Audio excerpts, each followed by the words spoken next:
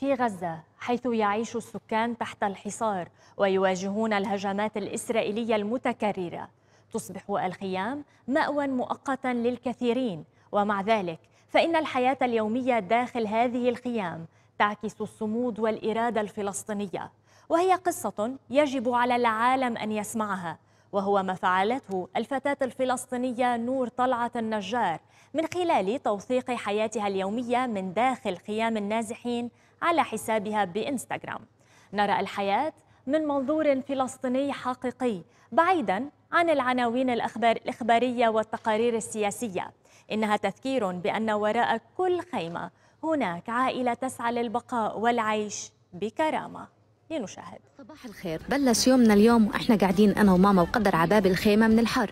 بعدين خيمة أهلي وقعت وبابا قاعد يصلح فيها لحد ما عملها وثبتها. وجارتنا الغالية بعثت لي منقوشة زعتر أفطر فيها عاملاها عفر من الحر ماما عبت الدرج اللي جبناه من تحت البيت مية لقدر وخلتها تلعب فيه. والتنمية بعتت لكل حدا فينا ورقة يعبيها للكابونات.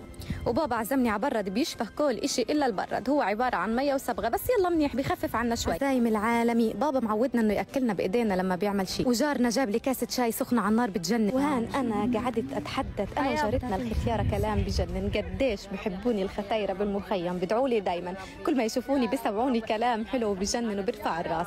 وهان كنت بتناقش أنا وخالي والختيارة تدخلت وقالت له ممنوع حدا يقرب مني طول ما أنا بحمايتها. يا الله قديش بحب الختيارات اللي بذكروني بتيتا وجارتنا بالمخيم عزمتني على قعدة عندها بالخيمة. يا الله ما أحلى وما أنظف خيمتها.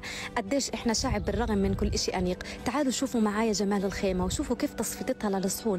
حتى المطبخ مرصصاه بطريقة كتير حلوة. طريقه كتير جذابة عن جد إنه إحنا شعب بحب يصنع الحياة من ولا شيء وبنحب دائما نظافتنا تكون مبينة قدام الناس وحتى بيننا وبين حالنا. وهان دخلت على غرفتها وطلعوا عاملة جانب لتعليق الأواعي. زي ما تحكوا غرفة غيرات على القلب. شوفوا لي جمال المنتجات الفلسطينية. هدول بنات مخيمنا وهدول أولاد مخيمنا هم بيستنوا المية الحلوة. وهاي البنوتة الصغيرة